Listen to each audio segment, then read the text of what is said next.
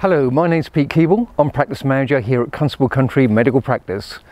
We're one of a number of practices who are vaccinating uh, patients uh, against COVID. We've been running the clinic this morning, it's run very well.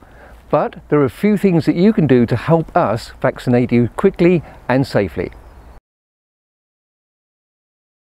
Don't arrive too soon for your vaccination.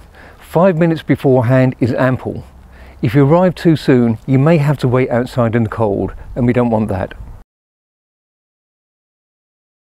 When you come into the building, please ensure that you're wearing a mask and socially distance from other patients and staff.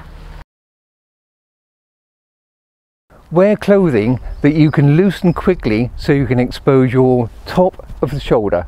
That will help the vaccinators vaccinate you quickly and move on to the next patient. Once you're in the building, loosen your clothing and this will help the vaccinator access your arm to administer the vaccine.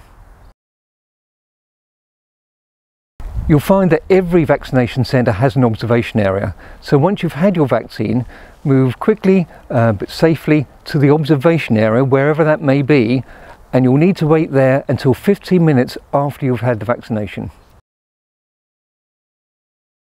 Here at Constable Country we have additional parking uh, opposite the practice at the high school.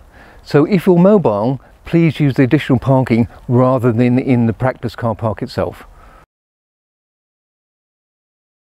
Every patient will be contacted to arrange the vaccination. So if we miss you, then don't worry, we'll call you again. There's no need to ring your practice to confirm or, or inquire about the vaccination. We will definitely contact you.